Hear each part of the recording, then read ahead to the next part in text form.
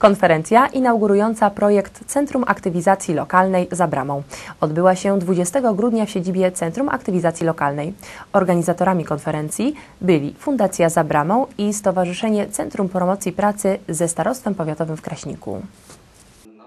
Konferencja inaugurująca projekt Centrum Aktywizacji Lokalnej za bramą była poświęcona przedstawieniu założeń oferty CAL oraz innowacyjnych form aktywizacji społecznej i zawodowej możliwych do wykorzystania w lokalnym środowisku. Tu będzie mieściło się Centrum Aktywizacji Lokalnej za bramą i szkolenia młodych ludzi, gdzie będziemy przystosowywać e, tych ludzi do tego, by mogli e, sprawniej poruszać się po rynku pracy. Fundacja za bramą e, jest jednym z partnerów i bierzemy udział w projekcie finansowanym e, przez Unię Europejską. Mamy nadzieję, że Fundacja za bramą, a także kompleks parafialny e, zyska wiele poprzez to, że e, to miejsce nabierze e, kolejnego ożywienia e, i będzie tu działo się wiele nowych atrakcji z korzyścią dla, dla, dla młodych ludzi. Konferencja adresowana była do wszystkich, którzy chcą wspierać proces integracji osób zagrożonych wykluczeniem społecznym i zawodowym, zwłaszcza dzieci i młodzieży, a w szczególności do osób zaangażowanych na co dzień w tworzenie, realizację i wspieranie programów pomocowych, kulturalnych czy edukacyjnych. Od 1 października rozpoczęliśmy realizację projektu Centrum Aktywizacji Lokalnej za Bramą. Dzięki partnerskiej współpracy Centrum Promocji Pracy, Fundacji za Bramą oraz Powiatu Kraśnickiego dzisiaj mamy możliwość dokonać otwarcia, uroczystego otwarcia tego centrum.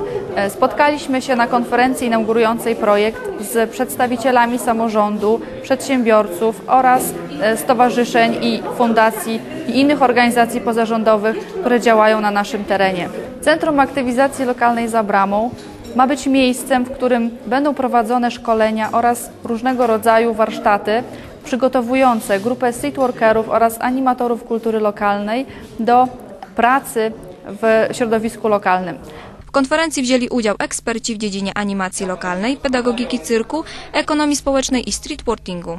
Zaprezentowali oni dobre praktyki w zakresie aktywizacji społeczności lokalnych, które będą wykorzystywane w ramach projektu Centrum Aktywizacji Lokalnej. I streetworking to jest e, taka forma pracy socjalnej, można powiedzieć. Jest to forma takiego pomagania, które trafia do osób najbardziej wykluczonych, e, trafia e, do odbiorców, którzy nie są w stanie sami dotrzeć do różnych instytucji, różnych organizacji, które oferują pomoc i potrzebują właśnie takiego przewodnika, który, który do nich dotrze, który, który nawiąże z nim jakąś relację w miejscu, w którym oni właśnie są. Czyli to środowisko, w którym funkcjonują ci ludzie. I streetworking to jest taka forma pracy, która ma zadanie do nich dotrzeć e, i e, sprawić, żeby oni byli w stanie, jeśli będą chcieli, skorzystać z oferowanej przez streetworkera lub innej instytucji i organizacji pomocy. Udział w projekcie jest okazją do tego, aby zdobyć nowe umiejętności i niebadalne doświadczenie zawodowe oraz nowe znajomości.